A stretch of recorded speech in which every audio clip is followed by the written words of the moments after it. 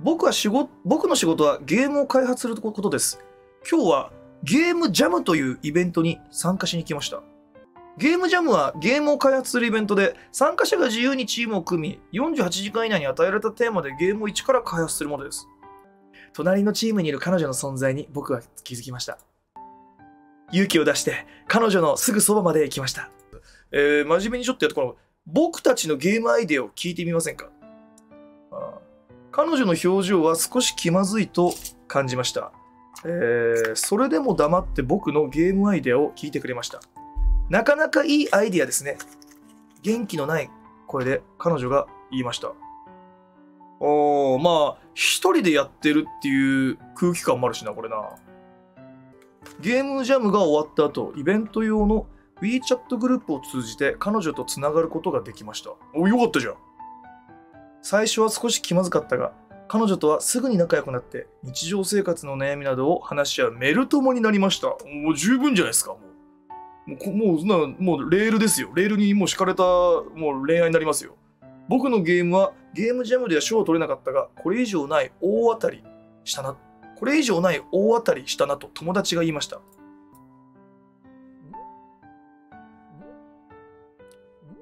今日上司に怒られた。私は上司に言われた通りにしただけなのに、問題が出たら私のせいにするってひどい。部下の手柄は上司のもの。上司の失敗は部下の責任。いやいや、これ、こんな絶対言っちゃダメじゃん、そんな。ねえ、そんな、ジャイアンみたいなこと。コミュニケーションミスだけかも。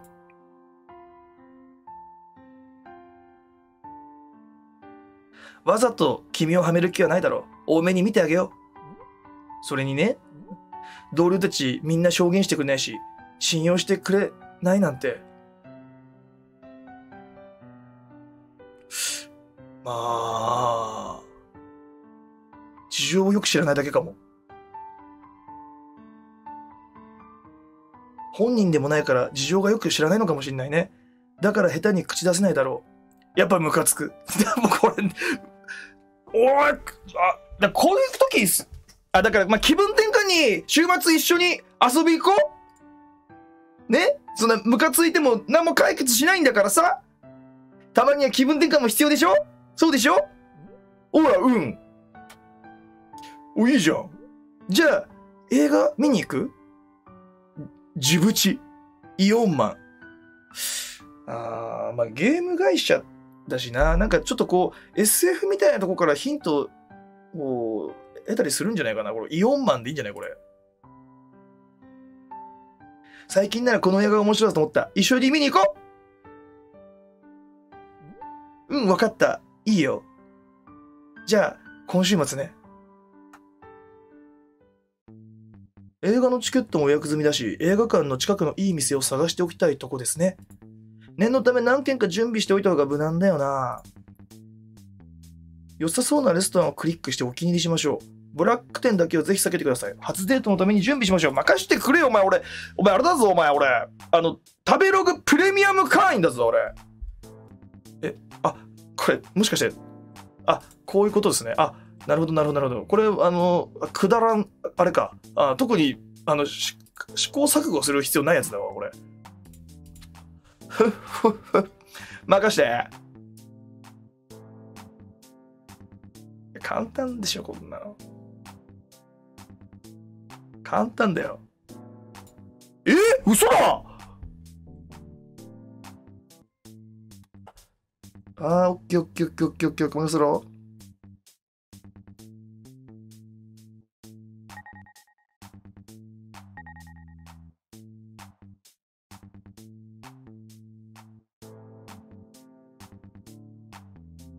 多分もうわからん。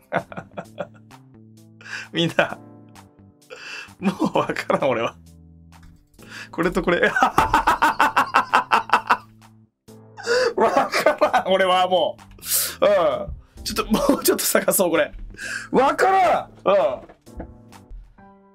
約束の日がついに来ました。初デートで初めての彼女の隣に座ることでドキドキを感じました。映画に集中しようと自分に言い聞かせながら落ち着いたふりをして映画を見ました。映画が終わり、最後まで椅子に残っていたのは僕たちでした。なかなかいい映画だったね。うん。悪くはない。これからどうするの？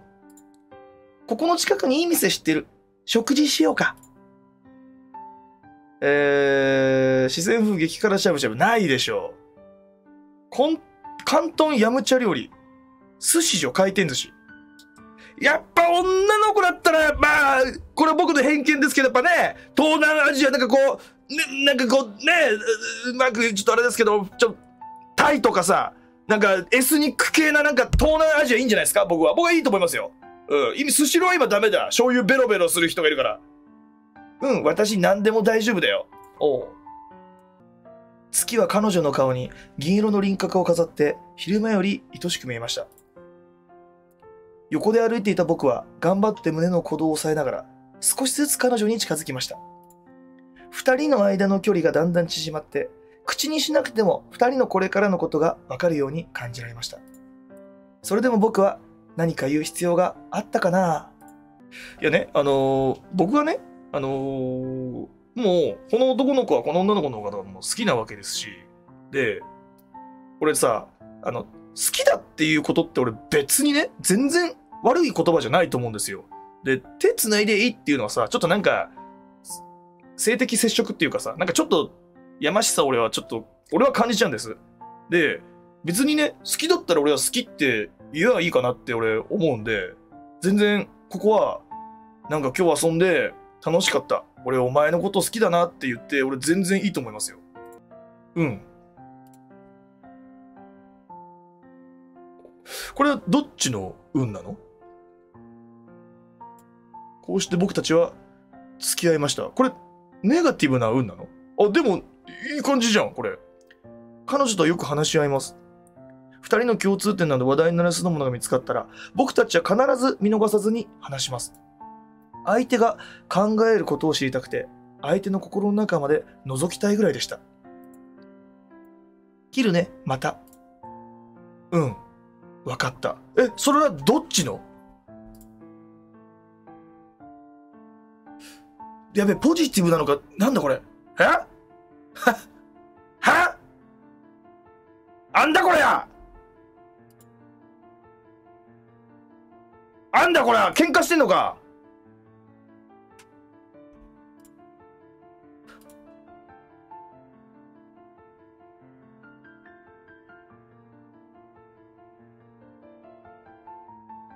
以前と変わらずに彼女はよく僕に愚痴を言います。頭のいい彼女のことだから細かいことで悩むはずがないと僕は思います。しかし、なぜ彼女はいつも細かいことで悩んでるように見えるんだろう。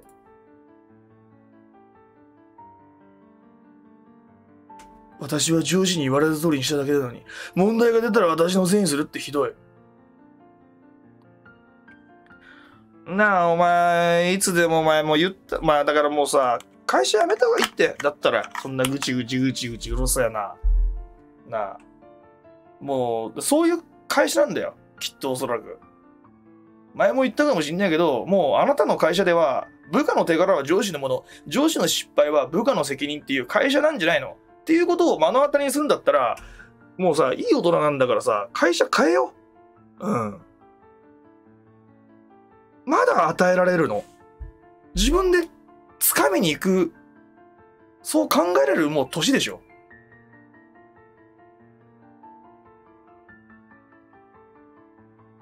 上司ってこんなんだよ。いちいち落ち込んじゃダメだよ。それにね、聞かねえんだよ。で、何この、信用してくれないなんて。うん。いやもう、普通上司には逆らわない。俺は長いものに巻かれろ。前の選択が違うってことこれ。普通上司には逆らえないな。誰だって上司にマークされたくないし。5時半ダッシュで帰りたいし。あどんどん良くない方向、部屋が散らかってきてる。近づけば近づくほど遠くから見えない結果も見えてきます。一緒に暮らす二人の間に食い違う時は必ずあります。その時は僕が折れるか彼女が折れるかの二択だった。僕が残業を終え家に戻った時、彼女は大好きな韓流ドラマを見てました。お菓子の包装、ティッシュとかが散らかってます。疲れてるし、彼女が片付けるのを待とう。やっぱり僕が片付けるしかないか。これは、俺ね、こう思うんですよ。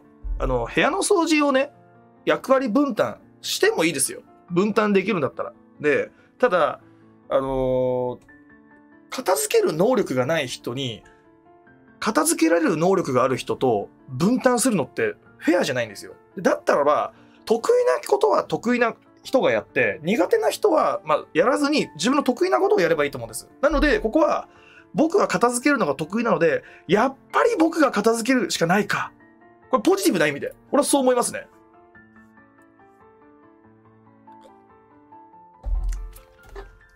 え、何この、なこれ、うつげなの？これ。なんか俺思ったのと違うんだけど、なんか。時が流れ、私たちの出会いからす、つ、常にす、すでに3年は経ちました。私たちはゲームジャムで出会いました。はい、そうですよね。最初に話しかけられた時は少しびっくりしました。実は話しかけられた時少し嫌でした。ふざけんじゃねえ。その場ならもっと自然に話す内容があったでしょう。ええその後私たちは WeChat のメルトモになりました。知らないうちに私が、私に何があったら最初に伝えた人に君はなりました。ああ、これはいいじゃない。初デートのことはまだ覚えてますか？あの、覚えてますよ。あの、イオンマン見に行って、で、アジア料理食べに行きましたよね。初デートのに何も準備してくれなかったことは 少しがっかり。いやいやいやいやいやいや。ねえ、これさ、あの、ちょっと違うよ。これ女が、だからあれだよ。準備してくれなかったこと？俺こんな女と付き合いたくないね。何が、何が多様性？何が対等だよ何が男女平平等、男女公用均等法だよ。なあ。何こいつ？ねえ。初めて手を繋いだ時のことは覚えてますか？手繋いだっけ？そんないい雰囲気だったら下手に喋って雰囲気を壊せよりも黙って手を繋いでくれた方がいいと思いませんか？くっそ腹立つんだけどこれ。付き合い始めてからお互いを知るチャンスも言えました。これ、あの、よくあるフェミツイのなんかさ、ツイートみたいな感じに見えちゃうんだけど。毎日のよう、お互いの趣味、日常などをいろいろ語り合っていましたね。でも、話はほぼ浅はかな話題にとどまりました。本当はもっと深い思いをぶつけ合い、お互いの心を知り合いたかったです。この子のまず人間像も俺はちょっとよくわ、まあ、わからなくはないけど、マジ言ってんの？時に喧嘩もするが、君と一緒にいる時間は楽しかったです。ああ、もうそれポジティブでありがとうございます。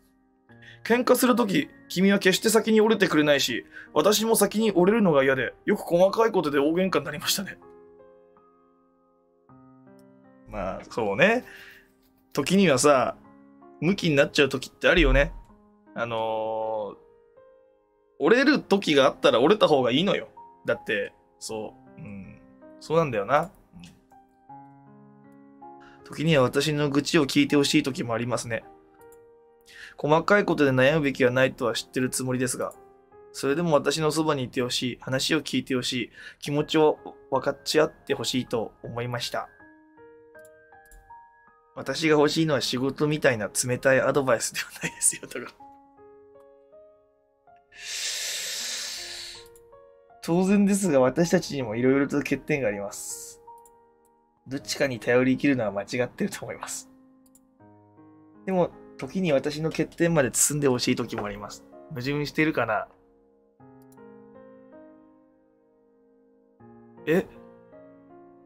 突然の手紙でびっくりしましたか？私の気持ちをすべて打ち明けるのは初めてかもしれませんね。そして最初で最後になるでしょう。ずっと一緒にいられなくて残念ですが、後悔はしてません。付き合ってくれてありがとう。私はいろいろと学びました。お元気で、さようなら。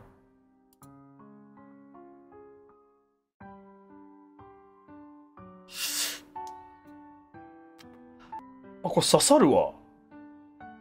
ついさ、なんか、理屈になっちゃうんだよな。なんか喧嘩したらさ、じゃあ分かった分かった分かった分かった。ルール決めよう、ルール。ルール、ルール。うん。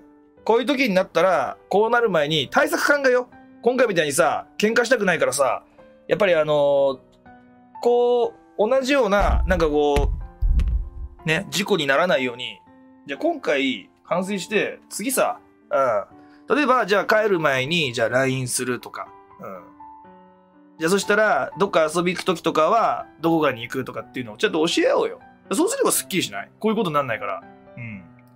あとは、まあ、そうだな、じゃあ、女の子と遊んでる人時とかは、俺、あの今どこどこの誰かとあのいるよとかってちゃんと言うし。うん。そう。そうすればよくない？みたいに、理屈で考えちゃうんだよな、やっぱな。どうしても。うん。違うんだよな。うん。こういうのって。不安にさせてごめんねっていうのを、なんで最初に言えなかったんだろうって。不安にさせてごめんねが言える。でも、そんな、そこなんだよな。決して女の子ってルールを守ってほしいとか、こうしてほしいじゃないんだよな。今不安なの。そこに向き合ってほしいなんだよな。これ、ちょっと、第2話言っていいっすか？ちょっと自分成長したいっす。愛、距離。怖え。先にラブエンディング、2エンディング以上、体験してください。ふざけんな。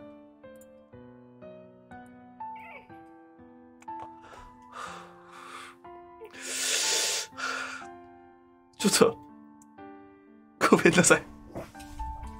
きついっす。ごめんなさい。すいません。ちょっときついっす。マジで。ちょっときついっす。ちょっときついっす。きついっす。ちょっとごめんなさい。ちょっとやっぱりきついっす、これ。これきついっすわ。俺だから女の子と付き合わないって決めたんだよ。なあ。こういうのがなるから。ダメだわ。ゲームでも聞くわ、これ。うん。俺ね、だから俺、もうさ、決めたの。うん。そう。頭がいいわけでもね、理屈屋だから。めんどくせえんだよな。俺、ごめんね。これ、さ、俺が、俺に能力がないからで許して。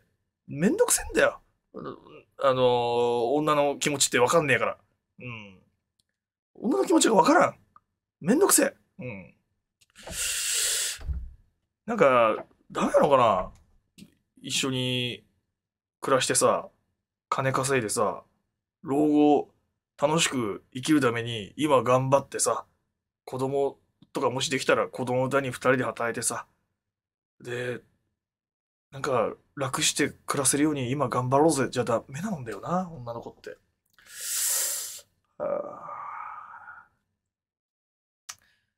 そうなんだよな。